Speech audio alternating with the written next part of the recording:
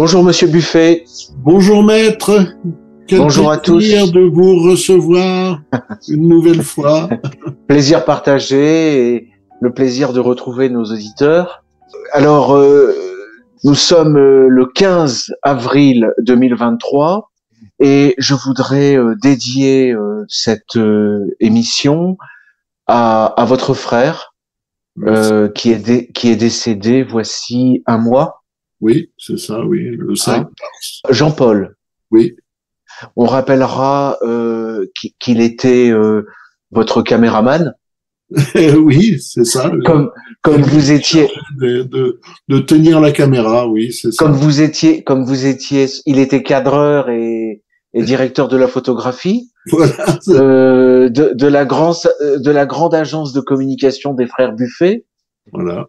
Vous vous avez quand même euh, lui vous euh, lui et vous travaillé pour euh, euh, pour Jean-Marie Le Pen euh, pour Alain Escada euh, Oui, pour euh, Laurent Guyeno, euh, pour euh, quantité de, ah oui, de, de personnalités, euh, pour Civitas et pour Égalité Réconciliation. Oui, oui, oui, ben oui, Euh, bien sûr, oui. Vous en êtes, Et, alors, Non. vous vous étiez, oui, en êtes l'exemple, et puis pour, euh, pour Alain Soral, oui, quelquefois. et, et, et vous étiez euh, à la fois euh, l'interlocuteur hein, euh, des, des interviewés et aussi vous vous assuriez donc le montage.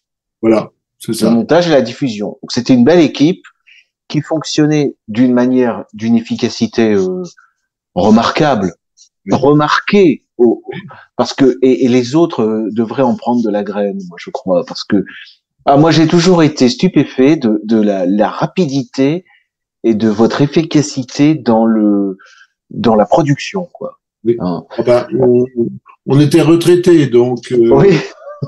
avantage de tout Alors. ça à faire. Donc c'est c'est le lien, c'est la transition toute trouvée avec le sujet du jour, puisque nous avons eu hier euh, la décision du Conseil constitutionnel, 14 avril 2023, Oui. euh, que je vais, euh, dont je vais faire la lecture et que je vais commenter. Merci. Alors, Alors, un sujet tout chaud.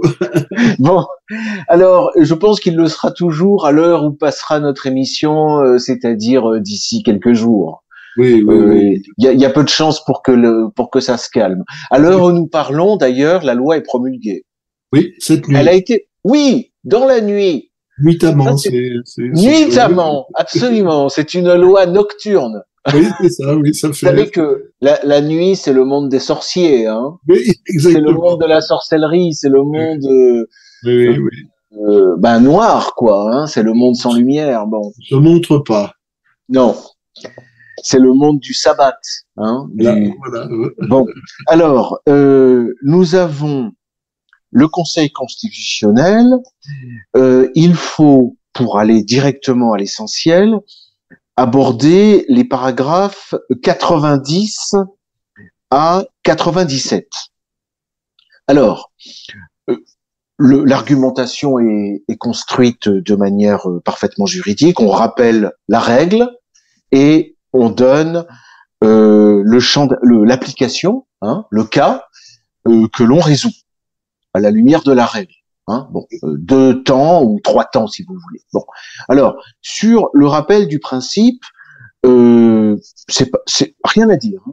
On, nous sommes tous d'accord sur le principe, nous y tenons d'ailleurs. Je fais le lecture du de la disposition qui est à l'article 11 du préambule de la Constitution de 1946, pré- euh, euh, préambule auquel renvoie notre Constitution de 58, et qui pose en somme les principes majeurs hein, du, auxquels est attachée la nation et le peuple français. Ce sont des dispositions qui sont à, à l'extérieur du texte de la Constitution de 1958, mais qui, qui sont euh, en quelque sorte méta, méta juridiques. Hein.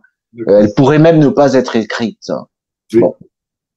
Euh, c'est quelque part notre notre Torah ou notre Coran, si vous voulez. C'est du, du droit naturel ou? Ou- ou- Oui, oui, on pourrait dire que c'est du droit naturel. Alors, comme nous ne sommes pas dans un système euh, religieux, dans une théocratie, enfin, on n'a pas de référence à Dieu, euh, ce n'est pas du droit divin, mais c'est du droit naturel, pourrait-on dire. Oui. Et alors voilà la disposition, je, je l'abrège pour aller à l'essentiel, la nation garantit à tous, la nation, hein, pas le législateur, on va y venir, mais c'est la nation qui garantit à tous, notamment aux vieux travailleurs. Et c'est important cette notion de vieux travailleurs. Hein. La protection de la santé, la sécurité matérielle, le repos, le repos et les loisirs. Voilà. Donc voilà le principe. La nation garantit aux vieux travailleurs le repos. Tout être humain qui, en raison de son âge, se trouve dans l'incapacité de travailler, a le droit d'obtenir de la collectivité des moyens convenables d'existence. Voilà. Voilà un beau principe. Voilà, voilà une nation que l'on a envie de rejoindre. N'est-ce pas? Bon. Alors, après le rappel de cette disposition, le Conseil constitutionnel hein, examine donc euh, la disposition de, de la, du Code de la sécurité sociale modifié, hein, qui dit que l'âge légal de départ à la retraite est reporté donc de 62 à 64 ans. Oui. Bon. Alors, voilà l'argument du Conseil constitutionnel. Je dévoile tout de suite le dispositif. Hein. Le Conseil constitutionnel pense que cette disposition ne méconnaît pas le principe que l'on vient de rappeler.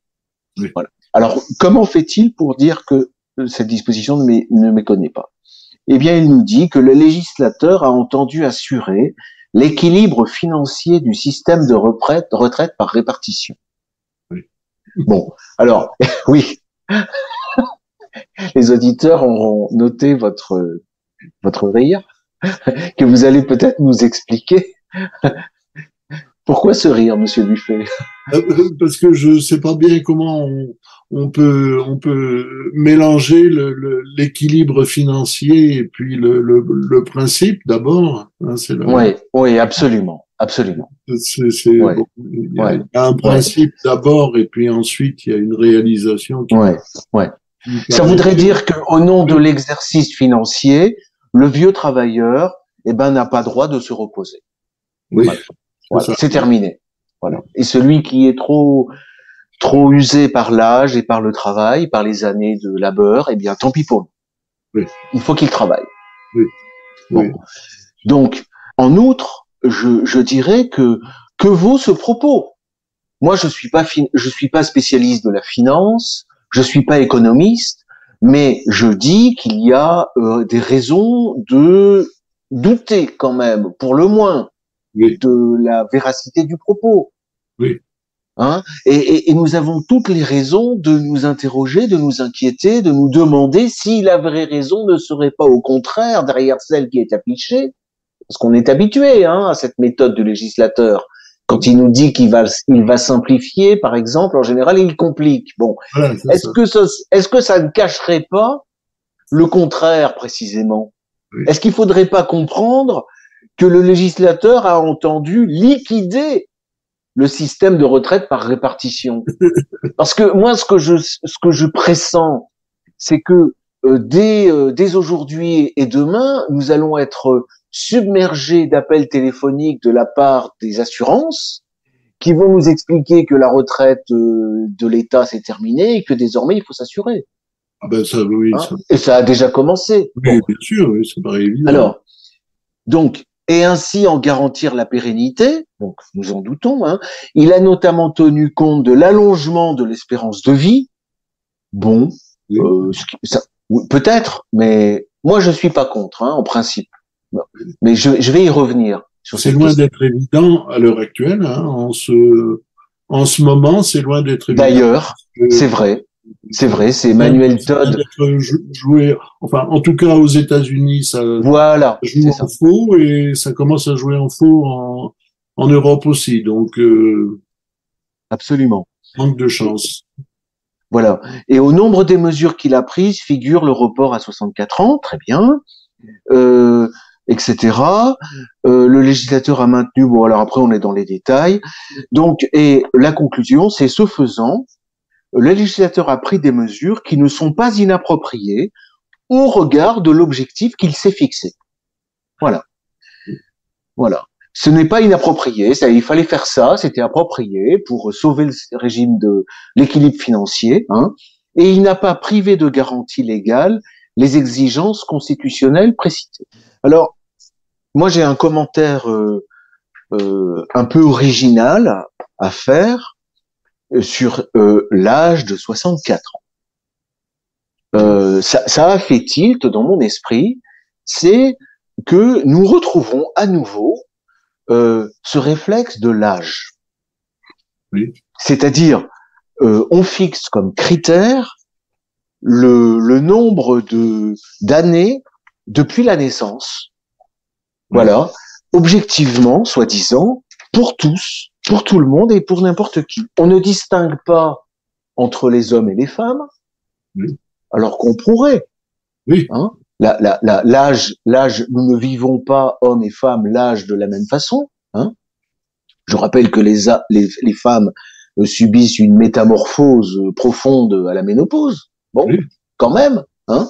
En Chine, par exemple, j'ai entendu, j'ai ouï dire que les femmes partent à la retraite à 50 ans. Ah bon? À 50 ans, voilà.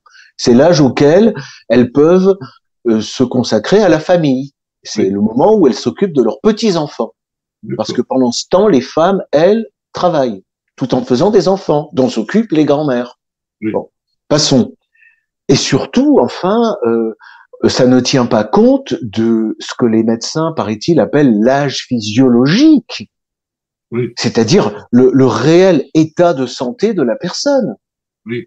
qui tient à de multiples facteurs, mais les, les, les plus, les, les, plus objectifs dont on devrait tenir compte dans une loi sur les retraites, c'est le nombre d'années de travail, oui.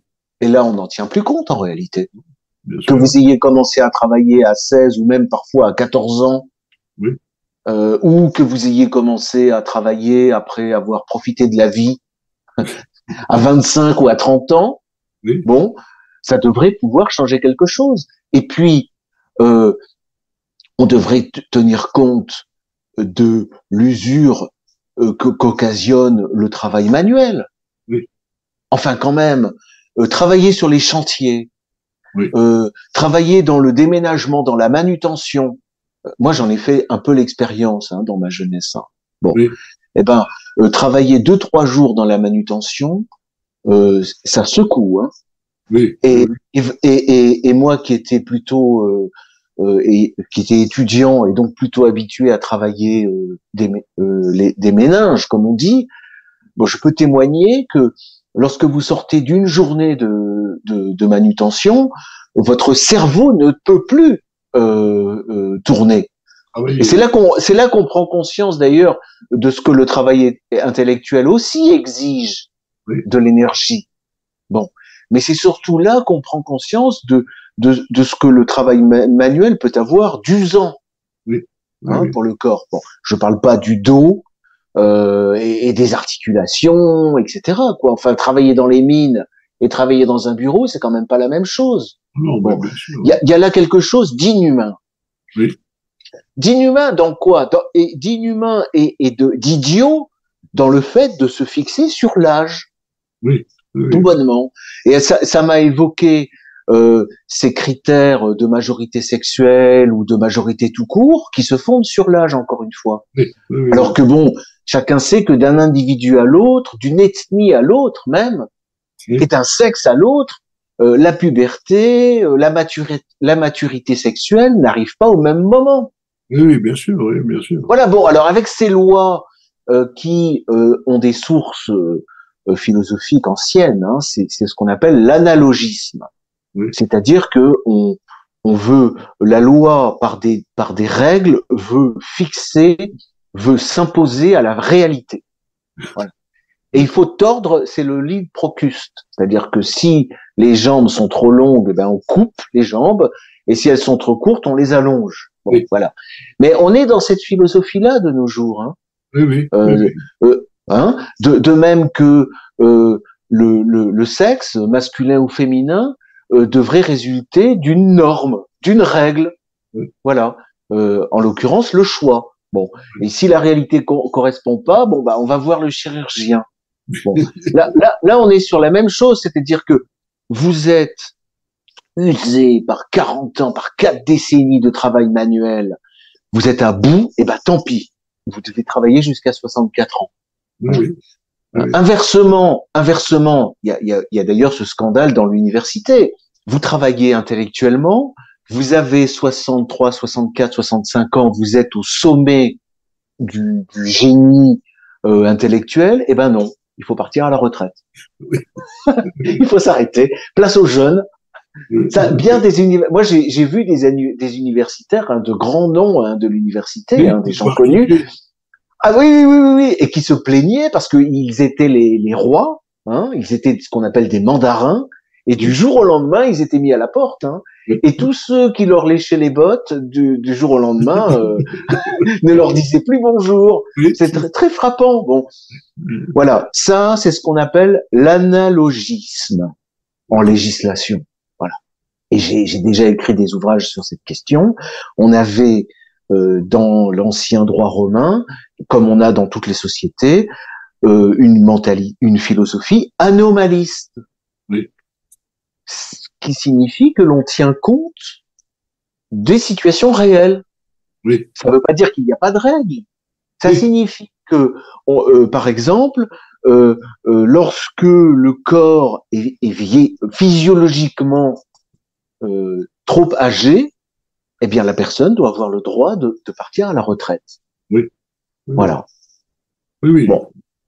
Alors on me dira que peut-être faut-il qu'il y ait une morale, euh, qu'il y a des gens qui ne tiennent, qui ne prennent pas soin de leur corps ou qui l'usent euh, ou qui en abusent et qui doivent payer plus tard. Bon, je, je dis pas, mais mais il est injuste, hein, injuste de faire euh, payer euh, le, le, le, tarif fort à des populations euh, qui ont tout donné, oui. voilà, qui ont produit. Ça, c'est traiter une population, c'est traiter un peuple en esclave.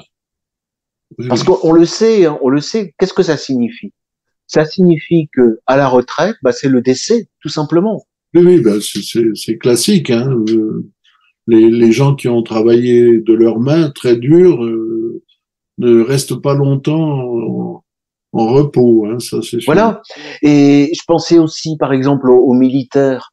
Je pense pas qu'on on va, on, a, on, on, touche à leur retraite, mais les, les, militaires ont une retraite très tôt.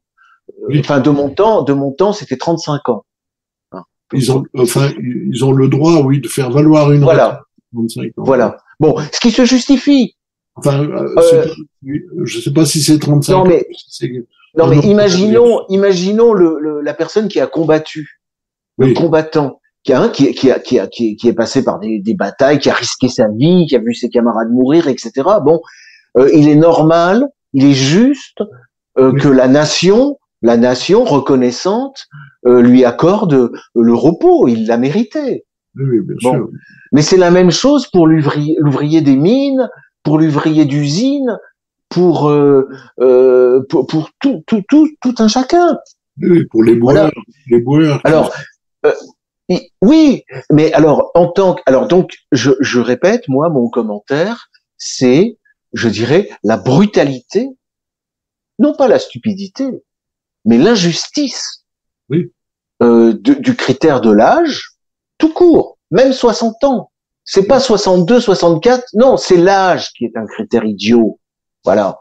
Et 64 ans, c'est meurtrir un peu plus le peuple laborieux, travailleur euh, et surtout travailleur de ses mains. Enfin, c'est-à-dire qu'il est euh, euh, euh l'agriculteur, l'ouvrier, euh, etc. Voilà. Voilà mon commentaire. Mais d'autant que d'autant que le, le travailleur, comme on, on dit, a, beaucoup ne peuvent pas arriver jusqu'à cet âge-là. Oui. Pas, ça, bon, et ça paraît évident, c'est ce que les syndicats font remarquer. Il y a, il y a, il y a plus de, de la moitié des, des, des, seniors, comme ils appellent, de plus de 50 ans, qui n'ont plus de travail, qui ne trouvent plus de travail, donc parce que ça va dans le même sens. Hein, D'ailleurs, d'ailleurs, à propos de, de, la succession des générations, euh, moi, je suis dans les seniors de plus de plus de 50 ans, et je suis d'une génération qui a constamment finalement été euh, confrontée au chômage. Oui. Euh, lorsque nous avions 20 ans, nous, nous, avons nous avons débarqué sur le marché du travail dans une période de chômage. Oui.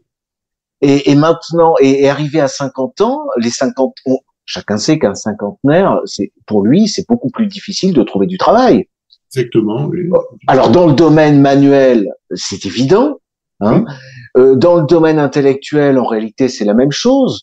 D'autant que dans une tertiarisation où euh, les cerveaux en fait euh, euh, sont réduits à un travail répétitif d'esclaves, où, où, surtout il faut pas il faut pas réfléchir. Oui. C'est-à-dire il faut travailler du cerveau mais sans réfléchir. Voilà, c'est ça. Bon, eh bien, eh bien, le cinquantenaire, il gêne. Bon, donc on est, on est, on a des vagues comme ça de générations qui sont, qui sont complètement sacrifiées. Donc ils ont, ce sont des gens qui n'auront pas droit à la retraite parce qu'ils n'ont pas suffisamment travaillé puisqu'ils étaient au chômage et euh, qui ne trouvent pas de travail euh, et qui vont se retrouver alors euh, quoi euh, Oui, c'est ça le, le problème. Alors au RSA jusqu'à la retraite. Oui, mais c'est invivable. Hein. ah bah c'est c'est un mouroir. Hein. Le RSA est un mouroir. Voilà.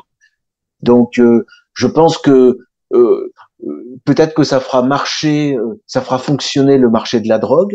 Oui, parce que quand vous êtes ou de la, enfin autrefois vous aviez l'alcool, euh, parce que pour pour des pour pour, euh, pour ces populations là, c'est c'est le désespoir. Ah oui, oui, oui. Et puis c'est surtout le désespoir de sentir qu'il n'y a plus de de destin collectif. Oui. Vous voyez, c'est-à-dire que c'est c'est l'idée euh, c'est ça que ressent. Enfin, moi, c'est ça que c'est comme ça que je traduis les choses. C'est-à-dire qu'en fait, euh, les, les gens comprennent bien qu'il n'y a plus de destin collectif, il n'y a plus de nation française. Oui, ça. Il y a, plus de, il y a plus de communauté, il y a plus, il y a plus de, euh, il y a, il y a plus d'esprit public, quoi. C'est l'individualisme, c'est l'individualisme poussé à, à, son extrémité, hein, vraiment il y a, plus de vie en société. C'est une, euh, on se soutient plus mutuellement. Oui, oui, oui. Moi, j'entendais récemment euh, une analyse de de Marcel Gaucher euh, qui traduit ça euh, de manière peut-être un peu exagérée au plan des, de millénaires d'histoire. Mais je pense que c'est très français en réalité. Hein, c'est la France qui, qui souffre de, de n'être plus souveraine. Oui. Voilà, tout, tout court. Hein. Oui. Je ne saurais pas dire à quoi, à quoi c'est dû, mais bon, on, le constate. Hein. En tout cas, on constate. Voilà, c'est un constat. Oui. C'est un constat. Donc, euh, voilà notre. Je pense que nous avons rempli euh, notre devoir euh, euh, pour la chronique du 15 avril 2023. Merci. Merci maître pour euh, ce, ce euh, cette brillante analyse. C'est, Voilà et encore, enfin, c'est ça vaut la peine. Oui. Je sais pas si si elle elle brillera euh, au regard des siècles à venir, mais en tout cas, euh, je nous, nous dédions cette émission à votre frère. Merci maître. Voilà, à sa mémoire. Pensons à lui. Voilà. À très bientôt, monsieur. oui, oui, comme, comme, comme, comme il prie peut-être pour nous. On l'espère. À bientôt, monsieur Buffet. Merci, maître. À bientôt. Au revoir. Au revoir.